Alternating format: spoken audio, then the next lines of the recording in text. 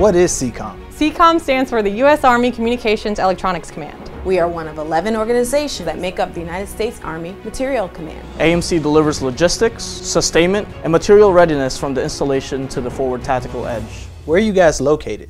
Our headquarters are at Aberdeen Proving Ground, Maryland, but we have a global footprint of approximately 9,000 soldiers, civilians, and contractors. 59 locations in 23 states. 33 locations in 11 countries.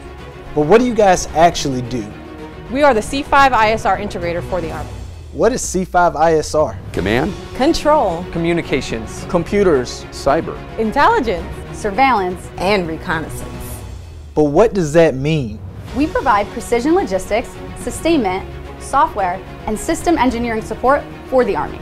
Basically, if a soldier uses it to communicate, we sustain it. anywhere, anytime, under any conditions, day or night. So what type of capabilities do you sustain? radios, Night vision. Radars, Power generation. Tactical networks. And And, what's the point? we have a singular goal of a connected, ready, lethal soldier. Now we're getting somewhere. What else? we sustain a global IT infrastructure that enables and empowers our soldiers on the battlefield. We are responsible for providing critical hardware and software maintenance, field support, and spare parts to our Army. And to better support our soldiers overseas, we've set up forward repair capabilities. This enables us to quickly repair equipment and get it back to our soldiers so it doesn't impact their mission. With new technologies like artificial intelligence and additive manufacturing on the horizon, CECOM is always adapting to how we support the Army of the future. Keep going, keep going. Whenever someone hears the word Army, they think about helicopters, guns, tanks, like G.I. Joe, right? But what people don't realize is the capabilities that we sustain brings all of these things together. Explain. Our soldiers can't fight effectively during the night without the night vision goggles that we sustain. And they sure wouldn't be able to coordinate fire without our radios. Or even locate the enemy without using the intel systems we manage.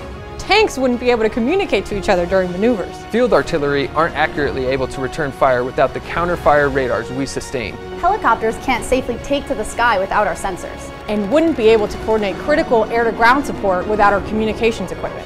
Nice. Anything else? It takes a team, a team that might not wear the uniform but shares a passion for service.